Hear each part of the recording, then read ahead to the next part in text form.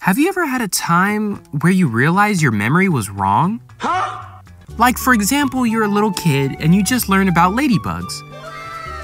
But then when you get older, you just find out that all ladybugs aren't ladies. If if they're not all girls, then then are you even a girl, little Samantha? Man, I've been trying to tell you. Yo! What's up, guys? It's your boy, Orange Guy Animations, and I have a funny story, as I usually do.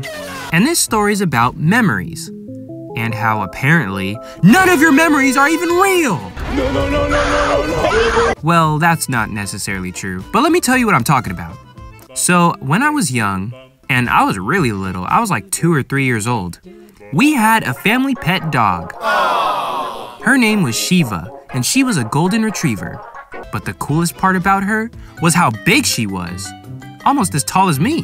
That was legitimate. I never really knew where she came from. One day I was there, and then she was there too. But we had a lot of fun together.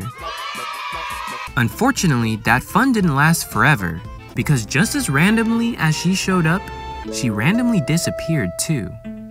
I never knew why or how she disappeared either, but that's always how I remembered it. And I never forgot about those times that me and Shiva had. But several years later, I learned something crazy about that dog.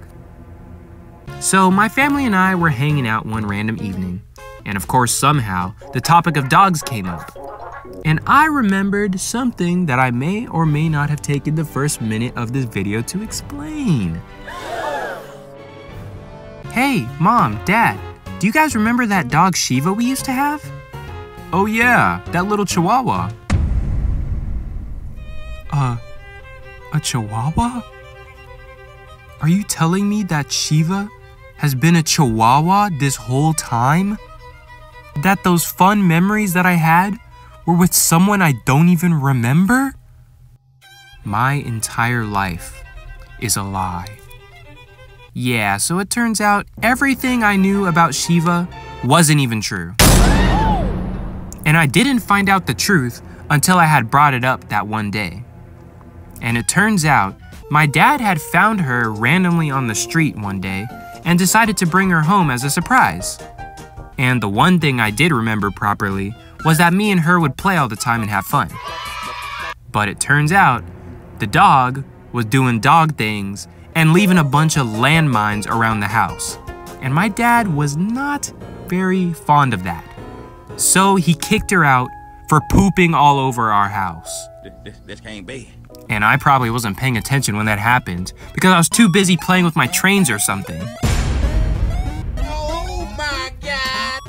The craziest part to me was that I always thought she was a golden retriever. Like, where did I get that from? But I guess you can't always remember everything accurately when you're two or three years old. You stupid. But I'll always remember the times that I had with Shiva. Even though it kind of worries me what other things I may not remember properly.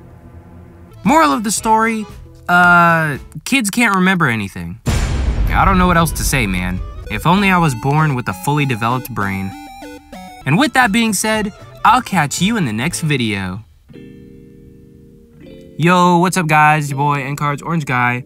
And uh, if you can't tell, which you probably can't, I'm dealing with stinky little allergies and stuff. Can't breathe properly. Which sucks! Oh my gosh, it sucks. I'm surprised I haven't coughed throughout any of this um, recording, but yeah, W me. Uh, so make sure you guys subscribe for that because I bested my allergies to record you guys this video because I'm just a giga chad like that. So subscribe.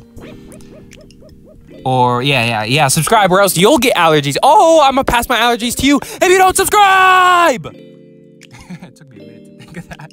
You notice that pause?